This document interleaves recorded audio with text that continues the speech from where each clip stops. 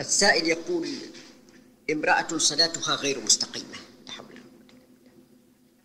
فهي لا تقرأ الفاتحة في الركعة الأولى من صلاتها وإنما تركع بتكبيرة الإحرام فماذا عليها بعد أن أصبحت كبيرة في السن وتقول إنها تعلمت الصلاة هكذا؟